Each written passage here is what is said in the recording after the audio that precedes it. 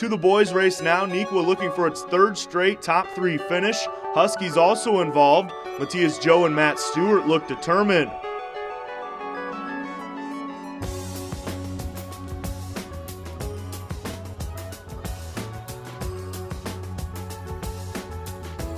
Around the one mile mark, there's no real leader. Leland Later of New Trier, Edwardsville's Garrett Sweat, Malachi Skrobilgan of Oak Park River Forest, Jeremy Atchison from Buffalo Grove, Neuqua's Mark Derrick, and Joe Stewart all in the mix.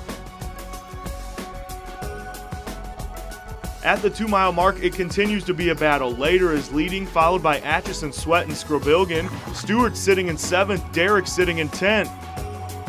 At the finish, it's Leland Later in 14 17 crossing first. O'Fallon's Alex Reba finishes second.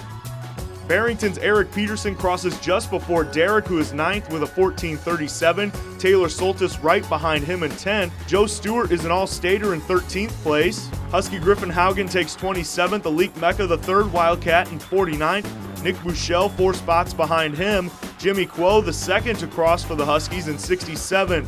Palatine is your team champion. North finishes 10th. Neuqua takes home a trophy in third.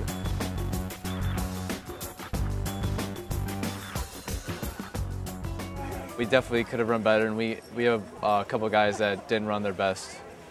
And, uh, but you know, trophy's a trophy, so we're still happy with that.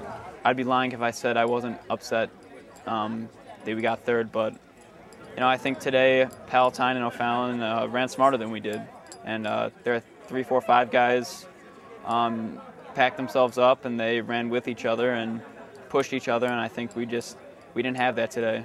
Some of being upset from the third place wasn't even our finish. I was a little upset that it's it's all over now.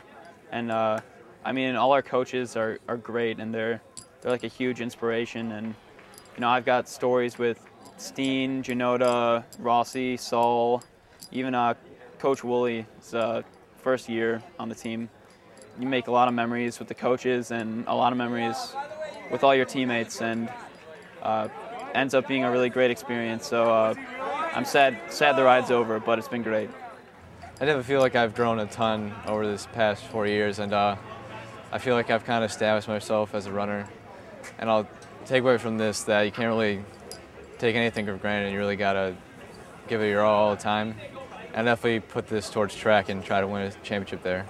Just knowing that people who've run for Joe Johnson, one of the greatest coaches that Palatines have ever had, and just that knowing that everyone who ran under him is following us, knowing that we could be one of the best teams Palatines has ever had, just it's what, it's what motivates us every day.